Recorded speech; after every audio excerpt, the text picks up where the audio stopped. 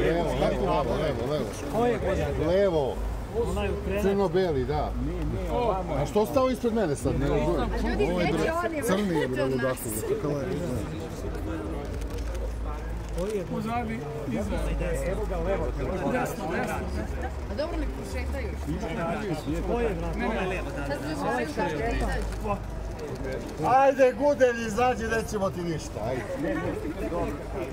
Bravo. Mogli ste. Uđite unutra, slikajte ga.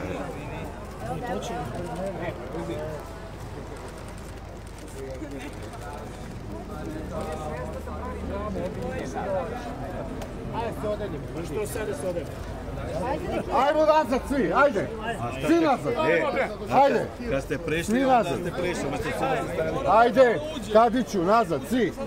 Daj ne zajebavajte jeboga ti. Ajde, A mora da uđe na vrata, brate, ne može da prođe od nas. Ne može, ne može dalje, nije platio putarinu.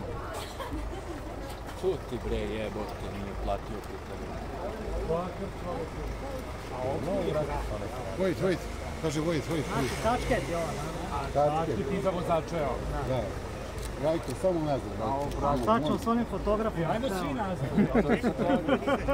Da izađe. Ajmo svi nazad, brate. Žena sa cvećem. Kadić, Kadić i braćala, brate. Evo, evo, ja sam ono. Ne, ne može hladnjak do vazduha da dođe, brate.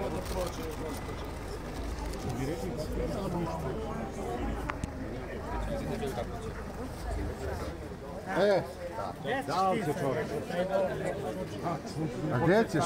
Čim ja najviše ja nazad. E, braćala, nemoj dole, brate. Nemoj desno više, u stvari. Gdje se? Evo, desno. Nemoj, brate, rekao sam nemoj desno, Gdje brate. ćeš bio si tu jebati sad ti ispred nas? Ne, ne, ne.